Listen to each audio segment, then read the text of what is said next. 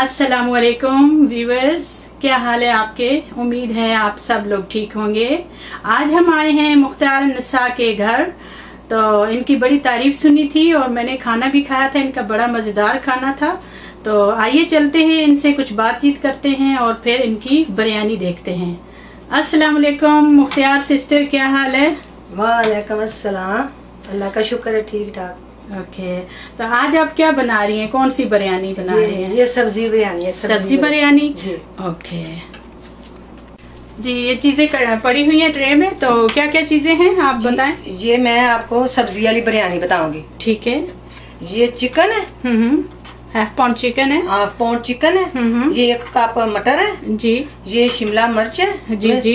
ये अदरक है। ओके जी। और ये गोभी है। जी।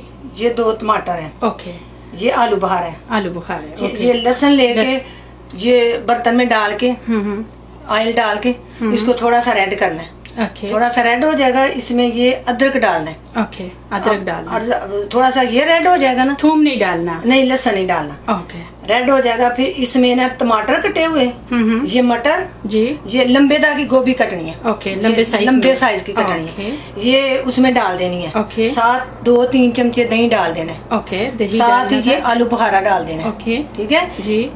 ये मसाला भी है ना? बिरयानी मसाला बिरयानी मसाला डाल देना है। जी।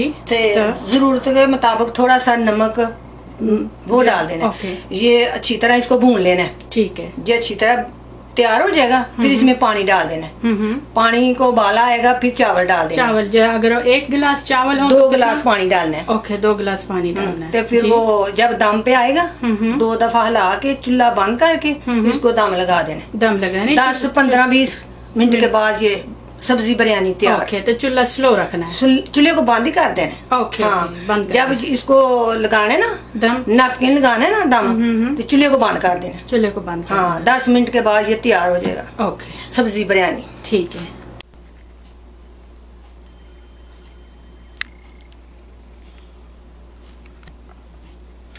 उधर मैंने आपको बिरयानी बनाने का तरीका बताया था सब्ज़ी बिरयानी। जी हाँ।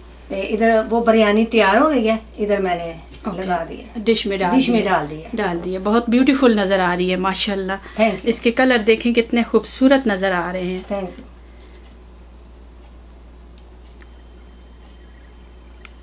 यू ये देखें।